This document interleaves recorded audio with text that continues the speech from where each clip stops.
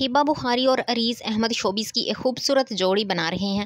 جوڑی کو ان کی خوبصورت بانڈ اور مزاحیہ مذاق کے لیے لاکھوں لوگ پسند کرتے ہیں۔ ان کی شادی ایک پریوں کی کہانی کی طرح تھی اور وہ صرف اپنے کریئر اور ذاتی زندگی دونوں میں ایک ساتھ بڑھ رہے ہیں۔ ہبا بخاری اور عریض احمد حال ہی میں اپنے حمل کی خبروں کے لیے خبروں میں ہیں، جس کا اعلان کسی اور نے نہیں بلکہ نادیہ خان نے کیا ہے۔ عریض نے اس قسم کے کلکس کے بارے میں بات کی جو اس نے جوڑی کے پہلے بچے کے بارے میں دیکھا ہے۔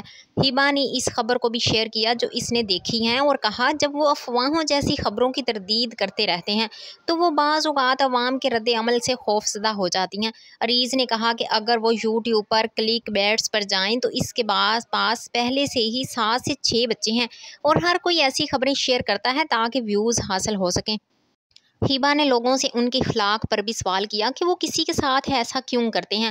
یہ افواہیں تکلیف دہ ہیں اور ان کو پھیلانے والوں کو سوچنا چاہیے کہ ہم حقیقی لوگ ہیں جو ان خبروں اور بیانات سے بہت متاثر ہوتے ہیں۔